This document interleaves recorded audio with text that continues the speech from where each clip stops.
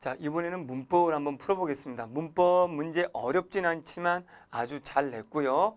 문법을 공부할 때는 반드시 여러분들 단순하게 암기하지 마시고 근원적인 개념을 가지고 응용해야 된다는 거. 그래서 문제 굉장히 잘 냈으니까 한번 보시고 이렇게 제시문들 주어지면 요거는 빠르게 여러분들이 읽어보시면 되고 기억 활용하지 않으며 사물의 이름을 나타낸다. 우리 명사 말하는 거겠죠. 음은 기억 우리 명사.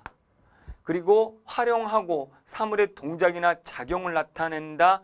자, 니은 동작이나 작용은 활용할 수 있는 건 바로 용언이잖아요. 그러면 동사 의미하는 거죠. 활용하지 않으며 수령이나 순서를 나타내 수사가 되는 거죠. 활용하지 않으며 앞말에 붙어 앞말과 다른 말에 문법적 관계를 나타내거나 특수한 의미를 더해준다. 그럼 이거는 조사, 관계원, 조사 말하는 거죠. 앞부분은 문법적 관계는 격조사, 특수한 의미는 보조사인 거죠. 미음은 활용하지 않으며 뒤에 오는 체언을 수식한다. 체언 수식하는 거 관형사가 되는 거죠. 이 정도 벌써 여러분들이 다 알고 있어야 되는 거고요. 자, 그런데 실제로 단어의 품사를 분류할 때는 분류가 쉽지 않은 것들도 있다. 동사, 형용사 이제 A 볼게요. A. 동사, 형용사의 구별이 대표적인데 사물의 속성이나 상태를 나타내는 형용사와 사물의 작용의 일종인 상태 변화를 나타내는 동사. 그러면 속성이나 상태 그 자체를 나타내는 건 형용사고 이 상태의 변화가 일어나면 이거는 동 사거든요. 많이 한 거죠. 이 정도는 기본적으로 다 알고 있죠. 이거 수업 시간에 굉장히 많이 한 거죠. 주의하라고. 자, 좀 더 세밀하게 구분해야 한다. 가령 햇살이 밝다해서 밝다는 상태지만 날이 밝는다는 건 어두워서 밝은 상태로 바뀌는 거니까 동사가 된다는 거죠. 동사와 형사를 구분하는 또 다른 기준 다 알고 있죠? 이 정도는 빠른 속도로 읽을 수 있어야 되는 거예요.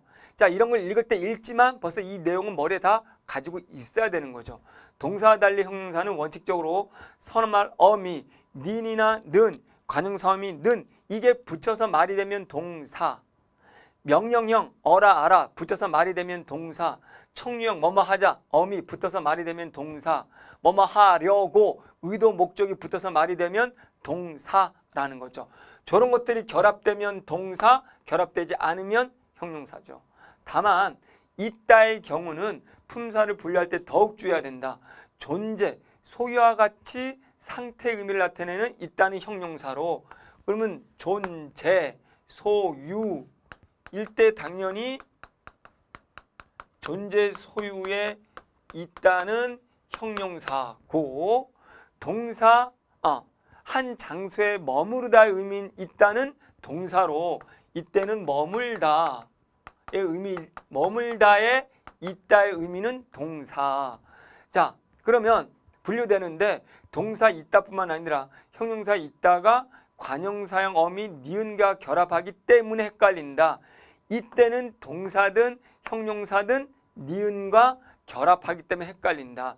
형용사 없다의 경우도 반이어인 형용사 있다와 동일한 활용 양상을 보여준다. 있다도 그렇지만 없다도 똑같다라는 거죠. 자, 그러면 11번 문제 가봅니다. 자, 이제 기억부터 미음 이거 물어본 거죠. 옛날 사진 기억은 기억에 속한다. 명사 맞죠?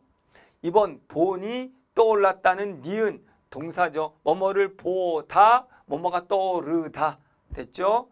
3번 하나는 디귿에 속한다. 즐거운 기억 하나 수사 맞죠?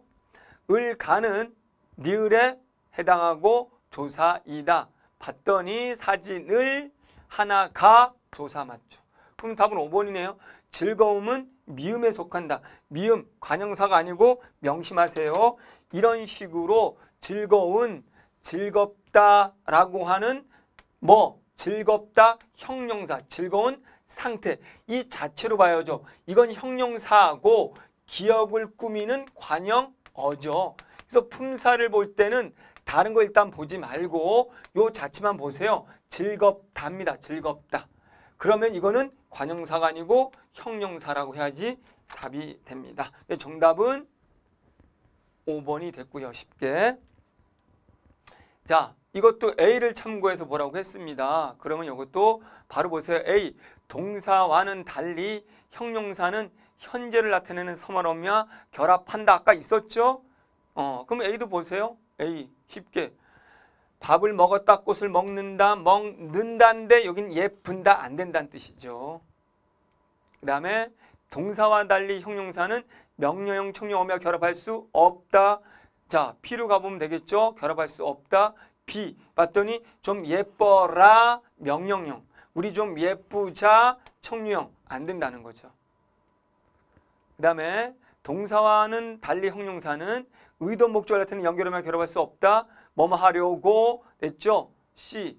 여기도 봤더니 예쁘려. 예쁘다가 형용사인데 예쁘려 안 된다는 거죠. 예쁘려고 안 된다는 거죠. 그러면 있다와 없다는 상태의 의미를 나타내지만 동사로 쓰이고 있다. D.